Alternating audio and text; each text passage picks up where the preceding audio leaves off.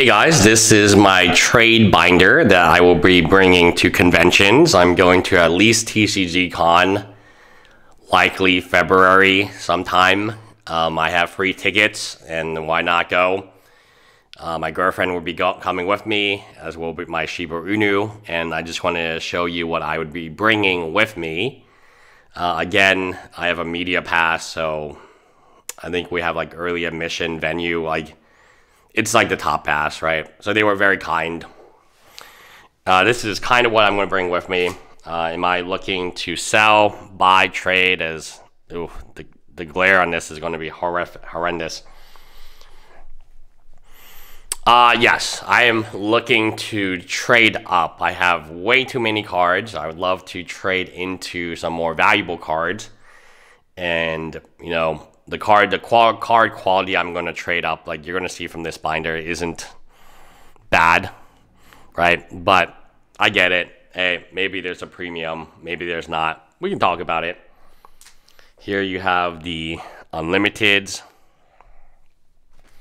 My unlimited up. Oh, there's the jet. Uh, would love to trade the jet and my Mox and my Candelabra, Candelabra into something else. Oh, there's my Lotus. Um, yes, my Lotus is for trade and sale. Oh, and there's Ruby. Pretty cool. I haven't seen this binder in a while. It's been in the safe. Um, so yeah, I will be bringing my Pokemon trade binder as well as my Magic trade binder, and I have a lot of things to trade. Um, ideally, I would be interested to see if I could just trade the entire binder in or something obviously it would have to be like a Black Lotus, a very high grade Black Lotus, given what I'm going to show you soon. Oh, there's the factory and a power artifact. So that's a cool card. And yeah, these are my dual lands. These are my extras. I have a playset of Unlimited now. I've upgraded from Revised Unlimited. I have some copies of Revised. Uh, oh, there's Wheel. I don't know why Wheel's here this seems a little weird for me to uh, organize it in this way, but okay. And yeah, I'm more than happy to come off these cards at reasonable cash prices or Zelle prices or whatever. Um, I'm looking to really. I don't want to say like quit the game because that's untrue. I'm st- I still own so much more than this. Like you know, like just stockpiles a reserve list. Like, and we're not talking about bad. I've like 20 City of Traitors and and 10 Survival of the Fittest, and, and they're not even in this um, trade binder because they're just so disorganized. Uh, they're they're organized by set, but prices change a lot, and uh, they're not. Sometimes like it's weird. Bayou, Bayou is a really good buy actually. I think Bayou is the the dual that took the most massive hit in terms of percentage. Taiga, like anytime you can get like a dual land that's in relatively good condition for about 100 $200, it's a really good buy. In my opinion, uh, long term, it's, it's also very easy liquid to trade. You're never going to have problems trading a Taiga into whatever standard Sheoldred or whatever you want.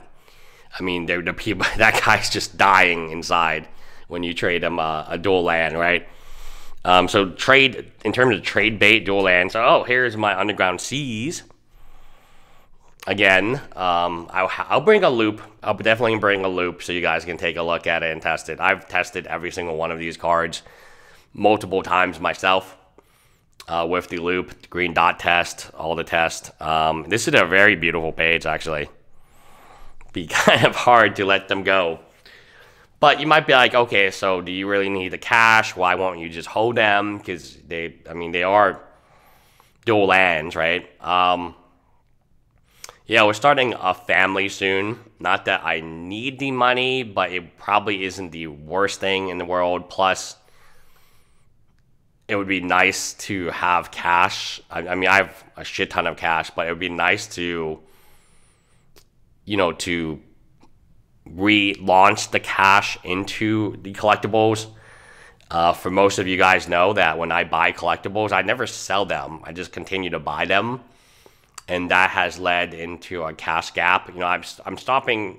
I'm trying to spend only what I get out of it. So to get a little bit of cash influx, I don't think it's a bad thing, right? Um, Badlands, talking about Badlands. Savannah. oh man, drop.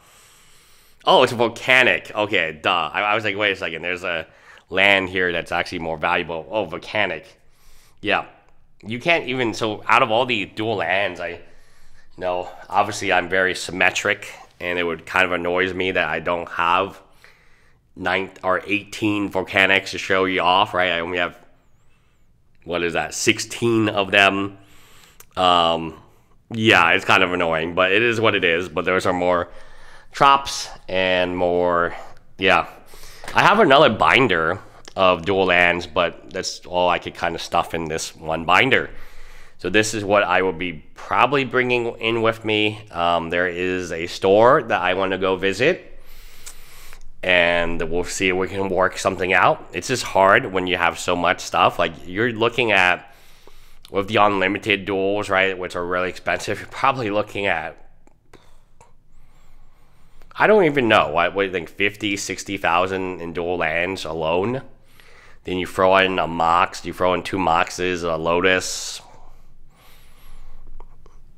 candles, some beta alpha. I mean, who knows what the binder's worth? Maybe 100k on a really, really good day, like 100k straight retail. Maybe. I don't know. Hi, guys.